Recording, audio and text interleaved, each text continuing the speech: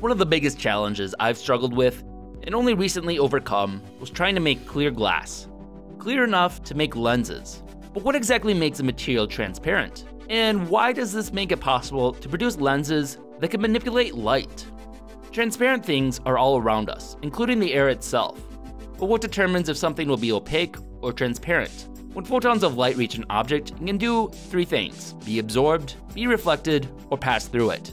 What determines if a photon can pass through has to do with the specific electron energy bands of the atoms in the material and the wavelength of the photon. If the photons don't interact with these electrons in these specific energy bands, they can pass through unimpeded. However, other forms of radiation of different wavelengths than visible light interact with objects differently, such as ultraviolet light, the light that some of us need to protect our skin against when we go outside. We did a video all about that. To ultraviolet light, many forms of glass look opaque, because the wavelength of photons in the UV light do interact with the electron energy bands in the glass, unlike the visible light. When these photons hit the glass, the electrons are absorbed, making it appear black when viewed in a special UV-sensitive camera. Similarly, sunscreen itself also exhibits this property, appearing transparent to visible light, but opaque to ultraviolet. Going even further down the electromagnetic spectrum is X-rays. Using an X-ray sensitive image, normally opaque materials become completely transparent to it.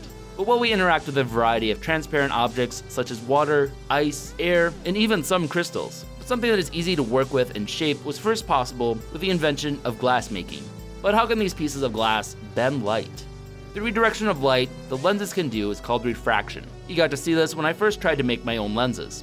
Refraction occurs when light moves from a faster to a slower medium, or vice versa. Photons of light will interact with the medium they pass through, which will slow their speed to varying rates. This is measured as the refractive index, with a vacuum being 1.0, water 1.333, and most glass around 1.52, meaning light travels 1.52 times slower through glass than through a vacuum.